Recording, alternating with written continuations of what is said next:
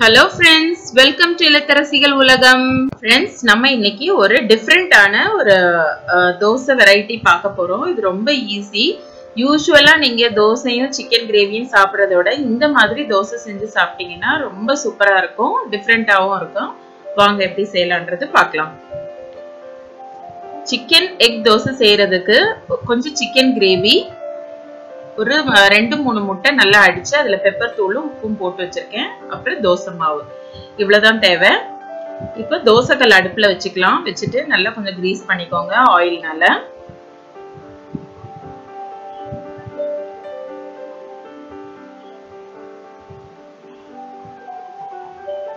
இப்போ இதுல தோசை வந்து கல் தோசை ஊத்துவோம் பாத்தீங்களா? ரொம்ப அந்த மொறுமொறுன்னு இல்லாம கொஞ்சம் திக்கா இருக்க மாதிரி மாவு ஊத்தி நல்லா தேய்ச்சிக்கணும். கல் தோசை அளவுக்கு இருக்கணும் கன்சிஸ்டன்சி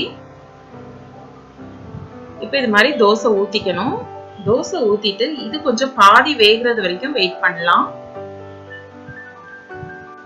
இப்போ பாதி வெந்திருக்கு. இந்த ஸ்டேஜ்ல நம்ம மேல வந்து நம்ம எடுத்து வச்சிருக்க அந்த சிக்கன் கிரேவியோ இல்ல சிக்கன் குழம்போ எது இருந்தாலும் ஓகே தான். நல்லா கொஞ்சம் ஸ்ப்ரெட் பண்ணி விட்டுக்கோங்க. சிக்கன் பீசஸ் வந்து ரொம்ப கொஞ்சம் சின்ன சின்னதா கட் பண்ணி போட்டுக்கோங்க.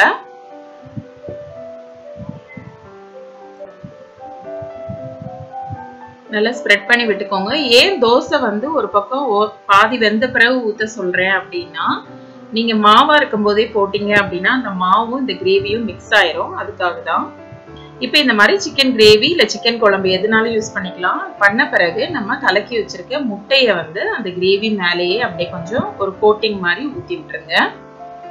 ஊற்றிட்டு ஒரு மூடி போட்டு நல்லா வேகிறது வரைக்கும் அந்த ஒரு சைட் ஃபுல்லாக வேகிறது வரைக்கும் வெயிட் பண்ணலாம்.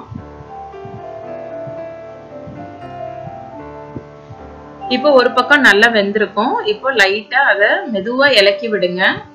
ஏன்னா மேலே எல்லா முட்டை எல்லாம் ஃபுல்லாக வெந்திருக்காது இல்லையா? அப்போ அது வழிஞ்சு ஓடிரும். அதனால மே லைட்டாக இலக்கி விட்டுட்டு அதுக்கப்புறம் அப்படியே மறித்து போட்டுடலாம் மறித்து போட்ட பிறகு எப்போவுமே தோசை வந்து ஹை ஃப்ளேமில் வைக்காதீங்க. சிம்மில் வச்சு வேக வைங்க.